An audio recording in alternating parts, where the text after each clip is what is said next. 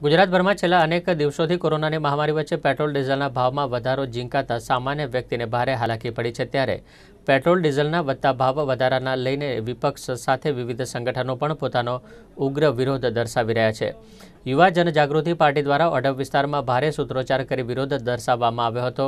જેના પગલે સ્થાનિક પોલીસે તમામ કાર્યકર્તાઓની અટક કરી હતી ત્યારે વિવિધ બેનરો અને સૂત્રોચ્ચાર દ્વારા કરવામાં આવેલ વિરોધ જો આગામી સમયમાં પેટ્રોલ ડીઝલના ભાવમાં ઘટાડો ન થાય તો ઉગ્ર આંદોલનની ચીમકી પણ કાર્યકર્તાઓએ ઉચ્ચારી હતી.